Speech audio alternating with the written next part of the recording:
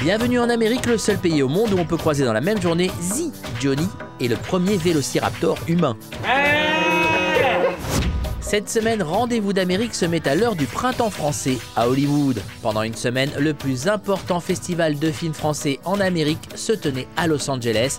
Le public américain, les plus grandes stars et les meilleurs espoirs du cinéma made in chez nous étaient au rendez-vous d'un festival de plus en plus important, à tel point que nous avons décidé de lui consacrer un numéro spécial.